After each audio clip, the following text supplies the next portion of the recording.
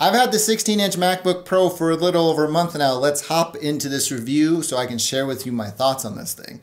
The keyboard is a refreshing step backwards into a better and more robust feeling uh, typing experience in my opinion.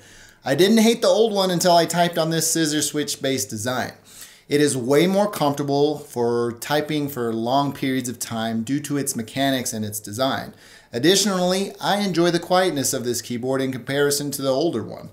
It is much less clicky and annoying to others around you. The trackpad is still great, however, I wish it was a bit smaller. I find myself inadvertently moving things around with the cursor when I'm typing. Palm rejection has been improved, but it's still not great, and I find myself zooming in and out and placing the cursor in weird spots during email a lot, which is really annoying and a drag on my productivity. The built-in microphone is pretty fantastic and is totally something you could use in an online delivery format like a podcast or a streaming setting. It's quite the feature ad and I'm happy they included the Apple dubbed studio quality 3 microphone array that has high signal to noise and directional beamforming capabilities. Now, is the microphone something I would use in a professional environment regularly? No, but we have all forgotten gear during travel, and this mic gets the job done in a pinch because it's always available if you need it because you don't forget your editing system. Uh, that's something I've never forgotten, but I have forgotten microphones, batteries, cables, whatever it is. Uh, this microphone will get the job done. Say you went to CES or NAB and you forgot your microphone. Uh, you could record voiceover on this thing and be pretty happy with it and deliver it to your audience with minimal to absolute, probably no noticeable difference to them. Instead of talking about how awesome the audio quality is on the 16 inch MacBook Pro, I thought I'd take this opportunity to demonstrate to you or give you a sample of the sound that can be recorded using the three system microphone array that's built into the 16 inch MacBook Pro. In my opinion, this is some of the best audio quality that can be recorded directly to your laptop without any external recorder or microphone.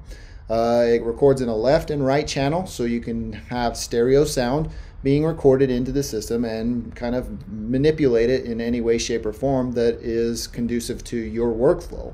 It, it works really great in a pinch. So if I forgot my microphone, I can go to a quiet room and record sound into this and process it like it is being processed here in this video. Now, with that said, is this something that I would use on the regular? No, like I just wouldn't because uh, I have higher quality microphones and recording systems available to me. But if you're starting out in, in content creation or doing some voiceover or doing tutorials or whatever, the microphone on this laptop is really, really good. Let me know what you think down in the comment section below uh, of the sound quality that is being recorded and what it sounds to you or what how it sounds to you on your end, considering YouTube's compression. Along the lines of audio, the speakers, they're pretty phenomenal. Uh, and the engineering that has gone into the force canceling subwoofer is nothing short of amazing. It literally uses sound waveforms to produce in phase sounds while mechanically moving them in the opposite direction to cancel out any vibrations. Apple includes a high fidelity six speaker system within the 16 inch MacBook Pro, and it really is the best sounding laptop on the market. Thing is, did this new revision of the MacBook Pro really need a speaker improvement? Personally, I don't think so. The 15 inch MacBook Pro already had some really good speakers, and I would have loved to have had Apple use the additional chassis space in uh, some better fashion, like reintroducing an SD card slot or adding additional I/O. That would have been better for me. I don't know. Uh, is that something you agree with? Feel free to leave me a comment down below. There's a lot of room in that chassis now, and they took a lot of it up by introducing those speaker uh, revisions. Uh, why not just keep the old speakers and give us back some SD card slots. Now onto performance of the 16-inch MacBook Pro. This thing runs quieter, cooler, and longer due to the larger chassis, uh, the redesign in thermal processing and hardware, and the increased battery size. The 16-inch MacBook Pro is wider, thicker, and longer than the 15-inch version of this thing, or the previous version. The 99.8 watt hour battery included can get me through a rough cut color, and initial render of a 10 minute video project roughly with no problems. Before, I'd have to skip on the render and wait until I plugged the machine in. Additionally, the one thing I really welcomed was the fix of the inability of the previous power adapter not being able to charge the 15 inch while it was under load. There was always a decrease in battery life when I was connected to the wall charger during renders or live streaming or anything like that where it was CPU intensive. That was because the machine itself was drawing more power than what the wall charger could deliver to the battery while those things were happening. That no longer happens as the 96 watt uh, power adapter that is included now provides sufficient amount of power without any compromises. It is really refreshing that Apple is putting form over function and giving users what they need and have requested especially in a world of improved battery life and sustained performance due to improvements made to the thermals to better cool the machine under load and the power to do it.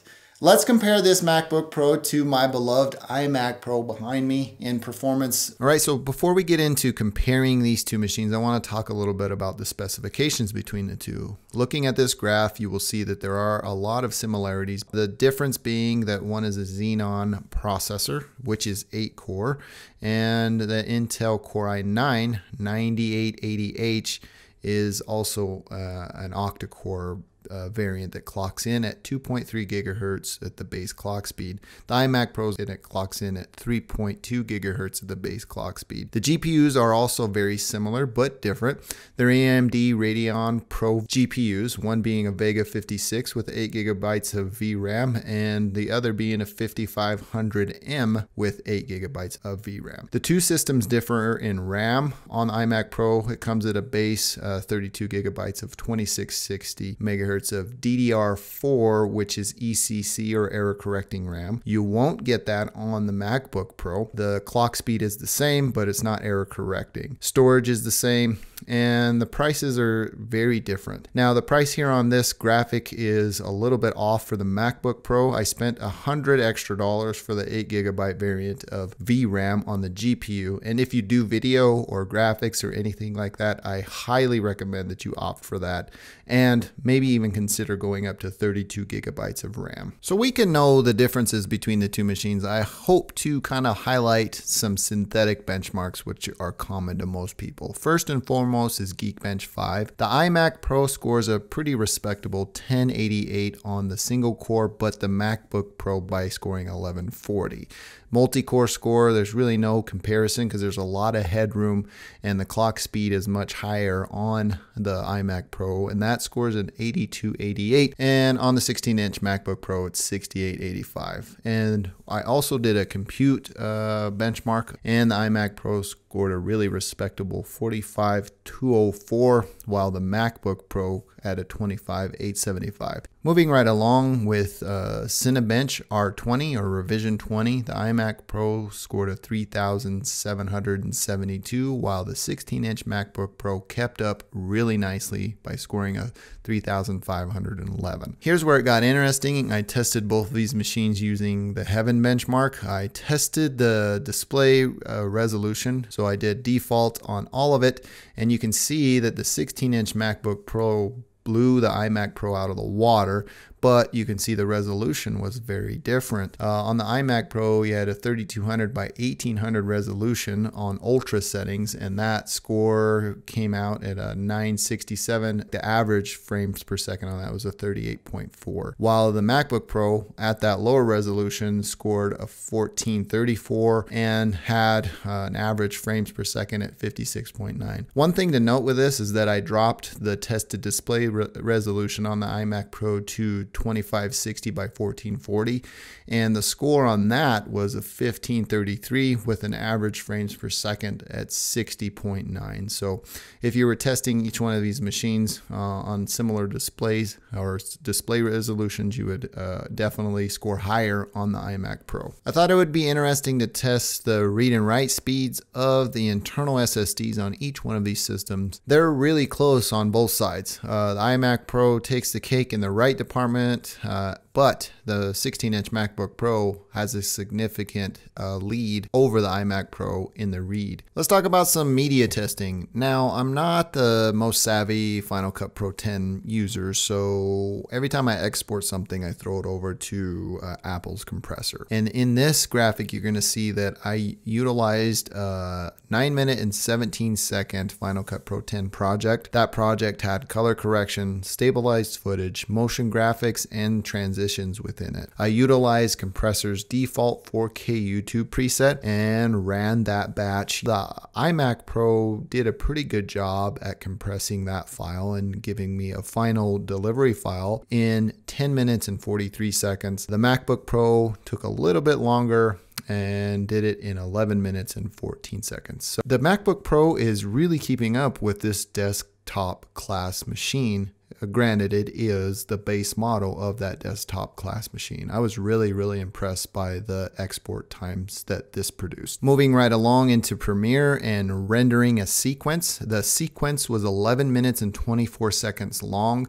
It had Lumetri color uh, applied to some clips, adjustment layers, warp stabilizer applied to some clips. It has some After Effects direct linking uh, motion graphics in there, as well as some transitions from other Premiere Pro projects and all types of stuff. So there was a lot in this 11 minute and 24 uh, second sequence. Everything is rendering through Metal, which is has been really in, uh, improved by Adobe on Mac OS, and you can see that there is quite a significant span or difference between these two machines in renders. I think it did a pretty respectable thing on the MacBook Pro considering it was a little bit faster than a one to one ratio. And when I say one to one, for every one minute there is in the sequence, it takes one minute to render. So it's a little bit faster than what the entire sequence was. So I grabbed that 11 minute and 24 second sequence and queued it over to Adobe Media Encoder and utilized the default uh, AME YouTube 4K preset that is at 40 megabits per second. Uh, one thing to note between these two times is that both of the CPUs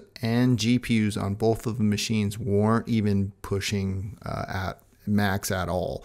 The GPU on the iMac Pro was around 9 to 12% usage, uh, and the, the, MacBook Pro was a little bit higher, uh, fluctuating between like 15 and 20% of usage on the GPU. So there's only room to grow on both of these systems. You can see they're really close in both. They exported uh, that project in roughly the same time. I mean, it, the difference here is negligible. That's all there is with these uh, real world comparisons that I did between the two machines.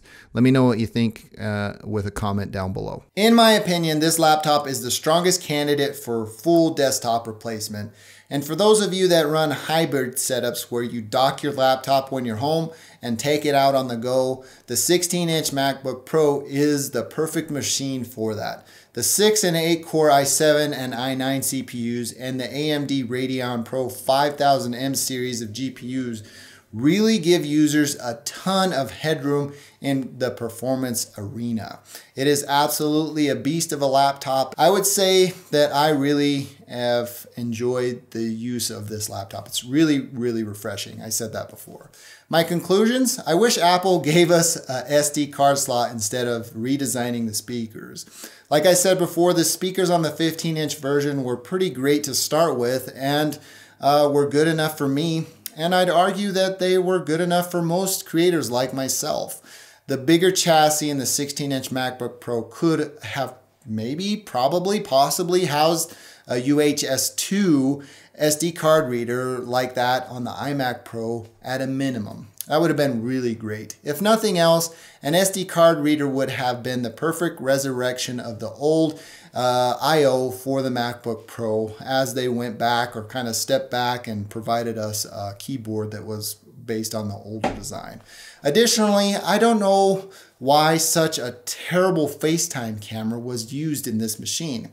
It's a 720p potato that really has me confused as to why Apple would have uh, would provide us with such an amazing microphone array and speakers, yet shaft us with a really low quality FaceTime camera.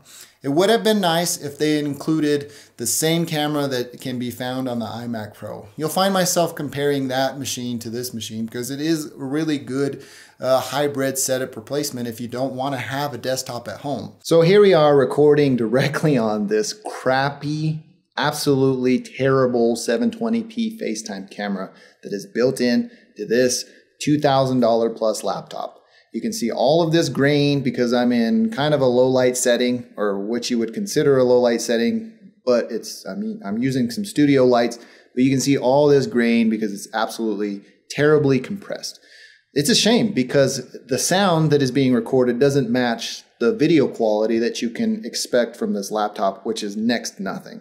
Now I'm going to compare this to the iMac Pro that's right there behind me and we'll i mean you can see night and day difference. The difference is is that the microphone on the imac pro doesn't sound as good as this does but the video quality doesn't sound or look as good on that as i mean i don't even know what i'm saying right now. You know you can see all of this grain looks like crap terrible decision apple. I think you guys could have done a little bit better with this. Let's hop over to the imac pro and take a look at that. So here's the imac pro in comparison. There is none when it comes to visually comparing the facetime cameras. This is absolutely 100% positively better than what you would experience on the 16-inch MacBook Pro. However, the internal microphone on the iMac Pro is not as good and it comes nowhere near close to producing the sound quality that you can expect on that machine back there. This is, there's kind of a meld between the two. I mean, there's some things in the iMac Pro that I wish that the 16-inch MacBook Pro had, and there's things in the 16-inch MacBook Pro that I wish the iMac had. This is just for comparison's sake. You can see the visually this is much, much better than what you would experience on that machine. Ultimately, the pricing is great. And that sounds really weird that uh, on an Apple device feels weird saying that. As you get a lot for your money considering the other comparative machines available to you currently. I think the sweet spot is the $2,400 stock model because you get a lot of machine for not a whole lot of money. At the time of this video, there were already Apple authorized resellers offering discounts on the purchase of a brand new 16 inch MacBook Pro. If you want to take a look at uh, current pricing and availability, including those discounts, uh, feel free to hit the links in the description. Those are my affiliate links. So uh, with full disclosure, if you purchase through those, those help support channel or content creation here on this channel uh, by providing me some sort of a kickback on your purchase without costing you anything in addition. Uh, before I close, I have nothing to disclose. I purchased the 16-inch MacBook Pro with my own money, and I am providing this review to you based on my purchase and usage experience in the month's time that I've had it. Well, that about does it for me in this one. If you enjoyed this video, please feel free to give me a thumbs up. If you didn't, you know what to do. Thank you for taking the time to watch. I am Tomas, and I will catch you in the next one.